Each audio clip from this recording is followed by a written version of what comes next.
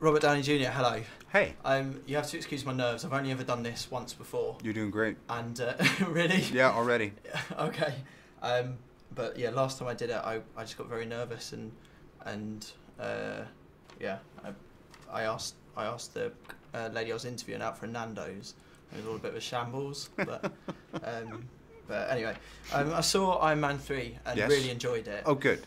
and I'm sure you get asked like a million times, but when you're in the suit, are you are you naked in the suit? It really you- depends. Depends on the temperature outdoors. Yeah, I once did an audition to try and be Batman. Yes. Um, they were doing like an arena tour, and I had to wear the outfit and go on the underground in the outfit, but I wasn't sure whether to go naked for that or not. And well, it's really every uh, everyone for themselves. yeah, You know.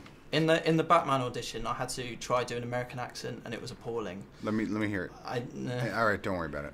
It was uh, it's just There's no reason for anybody to be ashamed here today. I heard your British accent uh, with, with Sherlock Holmes. Yeah.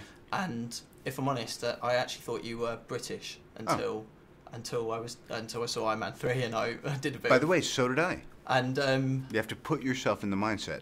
because I was going to ask you how do you do such a good American accent, but I know this is really stupid, but um, I couldn't be happier. but but yeah, like with girls and stuff. Have you ever has anyone ever turned you down? Because it must be amazing being you. You know what? You'd think it should be very amazing being me. I'm I'm the type of guy who likes to be in a committed relationship, so I've totally blown the opportunities I would have. I just think if you were if you were out with me and my mates, um, you'd, I'd be a you'd ma- magnet. yeah, well, you'd help us. We'd be rolling in it. as a group, you would make us instantly better because as part of our group, there'd be Iron Man in our Right. group, and it would just be and Tony Stark, and it would just be Yeah. you know the ultimate ultimate sort of lad as part of a. I'd like to help. You missed me by about 20 years. I oh, really, Yeah. You, you should have caught me between marriages. if you, it's it's I oh, really, Yeah. I had some fun then for a minute. it's like if we were on holiday, we always get shirts made up, Yeah. and I don't know if you do this with your mates on like stag do's or anything like that. Sounds fun. Um, so they'll go out with like shirts when we go to Kavos or Zante or Malia or, or places like that, and they'll get their uh, nicknames on the back, Yeah. a bit like Chango the Beast or Cantona or Dugsy or the Convict or people like that. Love it. And I just always like the idea that maybe if you went out with your group of mates, you'd have Iron Man on the back, or I mean, that just says it all, doesn't it? or would you have another nickname or Maybe uh, what was it that um, that Mycroft calls Shir- oh Shirley. That is- Shirley? yeah, Shirley. why is that? Because that's what Mycroft calls Sherlock and Sherlock too. Oh right, Yeah, but it's not very. It's not. It doesn't strike that me as might a- be for a different sort of trip. Yeah, right. Because it doesn't seem like a name that fits your character. Surely. It's like Robert Downey Jr., you know. and You're like right. Legends. I don't know why I have three names. I didn't used to have so many. Yeah. Um, do you like coming to the UK? I love it here. I feel like an honorary Brit, and um, I'm here with the missus, and we got our baby running around. They went to see the changing of the guard, and Yeah. we spent a lot of time here. Um, I have good friends here. Yeah. I think it's incredibly civilized. do you like? Um, I mean, what is it? Is is that it particularly that you like? You like doing the tourist thing when you're here, or I don't know that I've even done all that much. I think there's just look back in the '80s when you were four.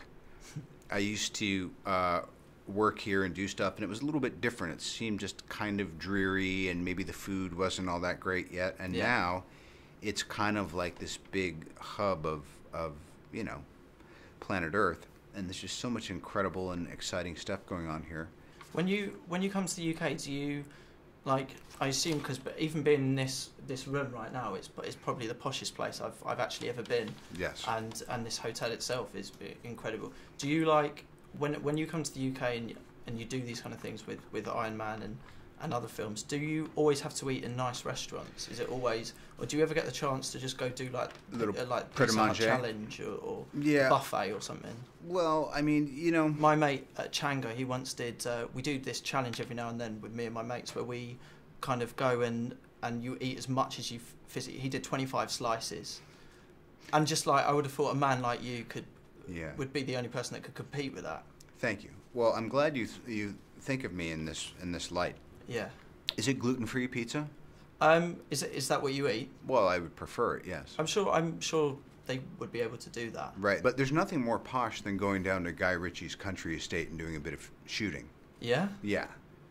Where you've noticed that, I- I'm sure it's the world over, but the dumbest birds in the world. They literally want to be killed while you're driving down the road. I'm not saying the birds are British. I'm Yeah. just saying that those particular birds are not very smart. I've never done I've never done shooting. By the way, I've only done it a few times, but it's the thing to do. Yeah. Only with Guy Ritchie or I don't want to say only with him. He might have been busy doing something else, but you know, Yeah. it was on his property. I'm just I, I think I'm, I'm sorry I'm just, just quite in awe of, No, I- I- of I you. think You're you've a big hero of mine and I really appreciate that, man. and um, no, and I really appreciate you uh, you talking to me. Um, sorry, just to fi- finish. Um, when I inter- I interviewed Mila Kunis before, yes. and I kicked myself that I didn't have. Um, she asked if I had a Watford shirt to give her because my football team's Watford Football Club, okay. and I and weirdly like we share the same last name. Um, so I just was Are you wondering if you'd me? uh, yeah if you take this on behalf Oh, of like dude, me and hold my football club, and By the um, way, if you ever want to come to a Watford game, you're you're more than welcome. And uh, and uh, assigning me the number one means the world to me. Ah, you're number one lad, aren't you? Thanks, dude. Uh, it's a pleasure to meet you. Please don't forget me if my luck changes. I won't. All right. Thank you so much.